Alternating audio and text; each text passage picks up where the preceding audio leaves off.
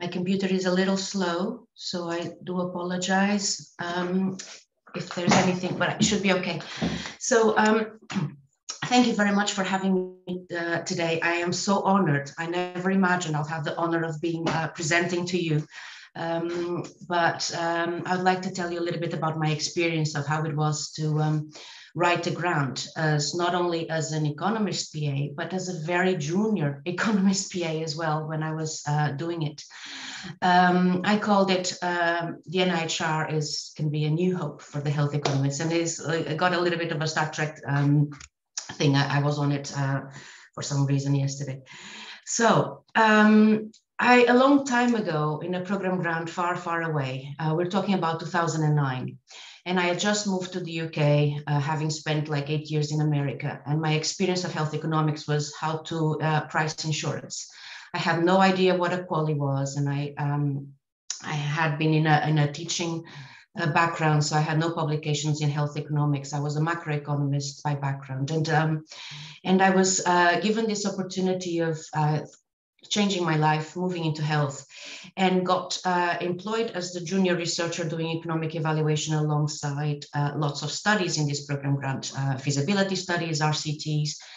But this would take a long time uh, for the actual economic data to arrive. Um, so to do that, uh, in the meanwhile, um, Ashley, the surgeon, said, um, why don't you help Andy, the systematic reviewer, with um, their reviews?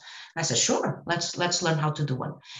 And there was this systematic review about whether different bearing surfaces for hip implants uh, were going to be effective. And uh, we were struggling with that review. Like, what is effective? Is it revision rate? Is it a prom? Um, how long are we looking at we want to know if they are effective 10 20 years down the line but all the trials all finished at six months to two years um, is interventions really just a bearing surface? Don't we have more things in uh, making a lot of effects here? And meanwhile, uh, Ashley was publishing this uh, paper uh, analysis from the National Joint Registry that showed that metal on metal implants, which were a lot more expensive than the traditional metal on plastic ones. If you see, um, they were about 1500, but the traditional ones were about 750 pounds. And uh, it showed that they were failing at a much higher rate. And with that came this idea of okay, we're, uh, the surgeons are stopping doing the metal on metal implants, and they were going to substitute them not by the cheaper ones, but with ones that are, were even more expensive, costing two and three thousand pounds.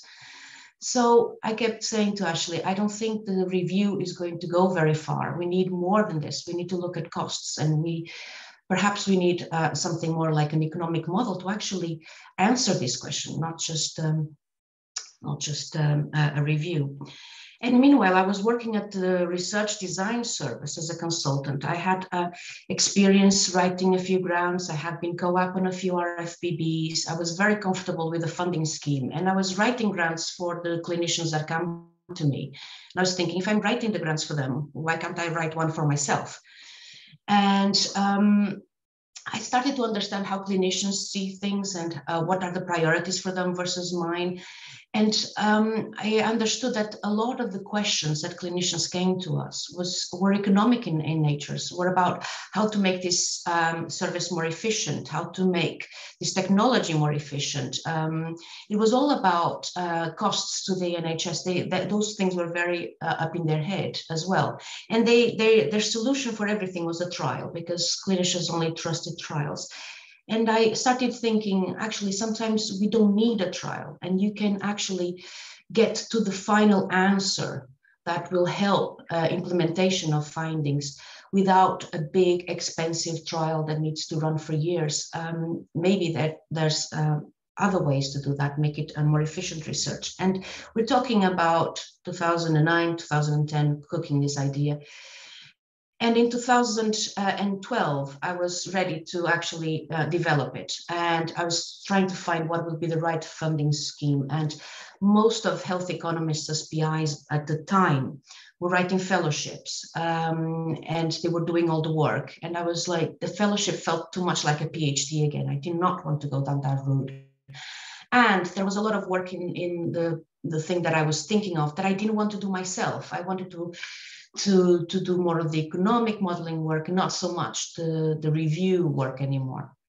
So I was thinking maybe what I want is a grant, um, not a fellowship.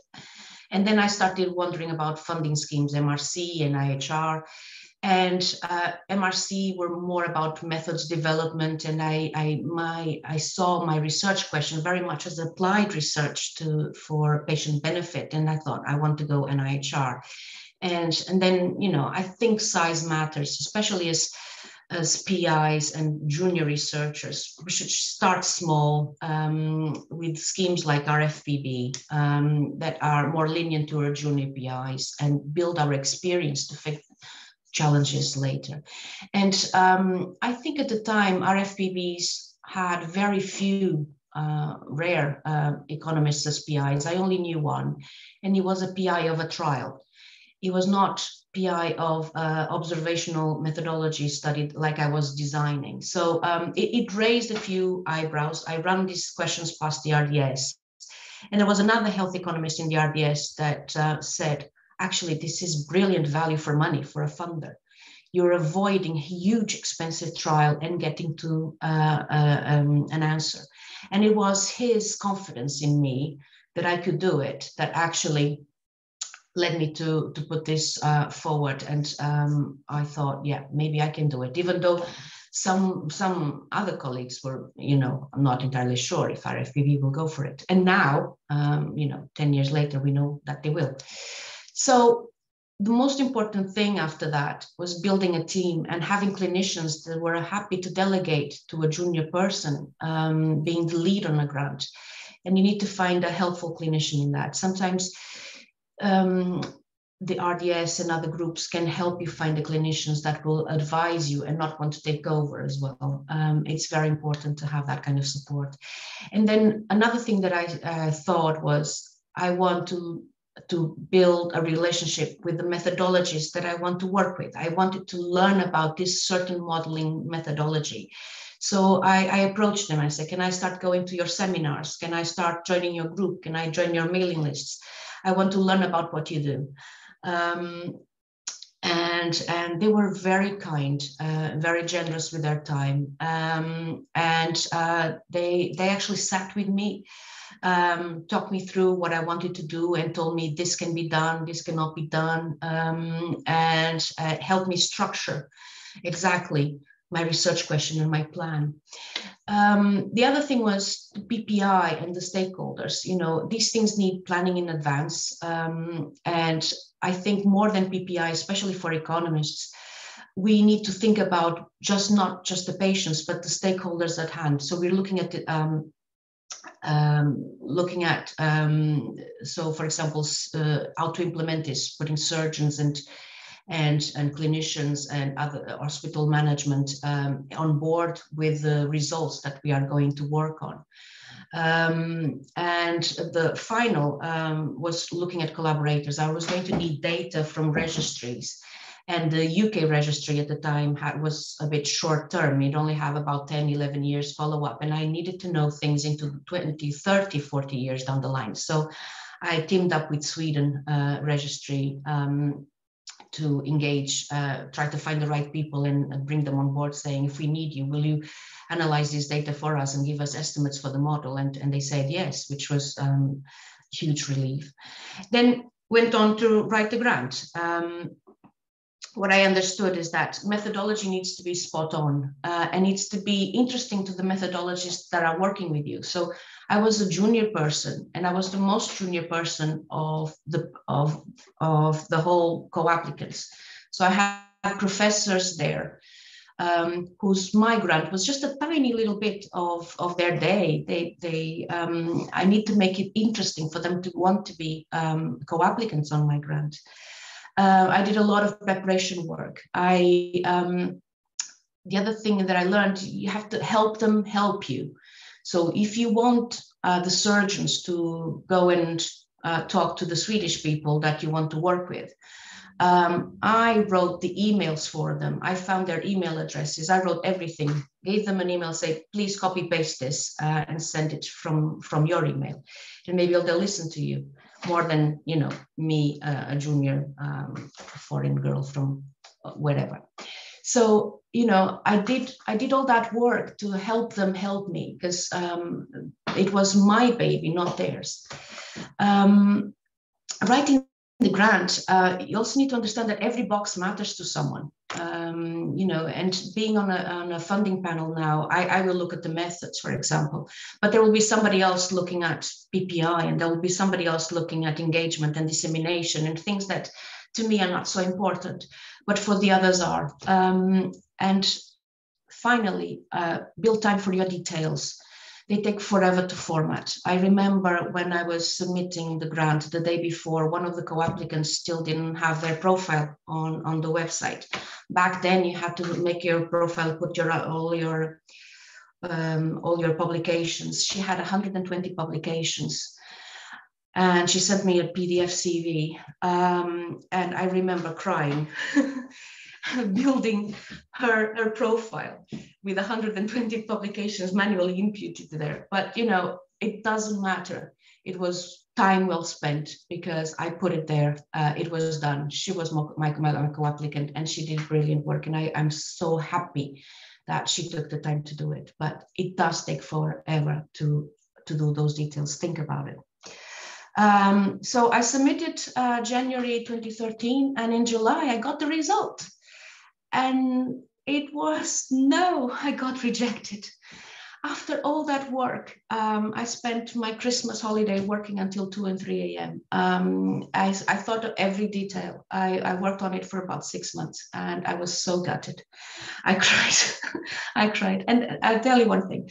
Um, if your boss has got a problem with you crying, change your boss because um, it's okay to have failures. Uh, you pick yourself off the ground and you you go on. And I looked at the feedback. The feedback was actually amazing. Uh, all the external reviewers really liked it. The panel didn't at all. Uh, have problems with everything. So I tried to um, account for what the panel had said, um, and I stick to my guns when I felt I was very strongly I was in the know more than they did, and I let go of some other things to to make it more uh, um, appealing for everybody, and I submitted it again and Holden below, you know, I, I, couldn't believe it when I got the news um, back in 2014 early, um, and I uh, and I got funded, and I was I couldn't believe that I got funded, and amazingly, the panel had very few comments and got me funded with probably one of the highest rates of that day. Uh, scores uh, and the peer reviewers were horrendous. They hated the external peer reviewers hated my grant. So um, I don't know. Uh, you know, it's about what happens on the day. Maybe they felt sorry for me that the peer reviews were so bad. I have no idea. But you know, this is a human process that you are going to go through, and you're writing to a panel. Um, you're making your business case uh, of why you think your research is important, and it just happens that you that I was successful this time. So um, you know, what I'd say is stick to your guns and try again uh, if you fail the first time. So leading the HIPS team uh, was actually quite amazing. I got 240k of funding. It was um, started with a network meta-analysis comparing 24 different implants, or 33 different implants, and then 24 of them were used in an economic model um, compared uh, between them to uh, establish the effectiveness and the cost effectiveness, combined uh, data from two registries, uh, over 1 million individual patient data were analyzed with um, 30 years follow-up. And the good thing about this was that it did encourage other colleagues of mine who were also very junior health economists to apply for grants as PI using uh, this kind of idea. So um, health economics methods to change practice directly instead of going through um, trials, uh, sometimes using using data to efficiently answer um, a research a health research question that is important.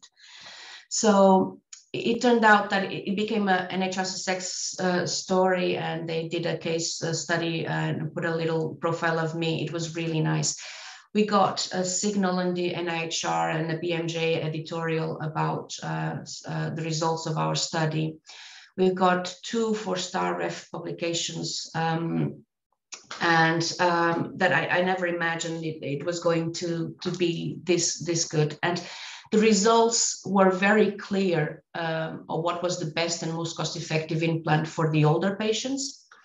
Um, and um, NICE got in touch about how are we going to change uh, the guidelines uh, guidelines according to this, and um, we decided we we thought about how to to do it in the future, and it was also very clear that for the younger patients, the evidence is not strong enough to make any recommendations, and we already exhausted methodologically how to analyze this data to get any sensible answer out of there. So we know that now um, the only way to answer this question is going to be with a massive trial. Uh, and we now have the justification for why we need this massive trial. We have already exhausted methodologically everything that we can do with the data that we have.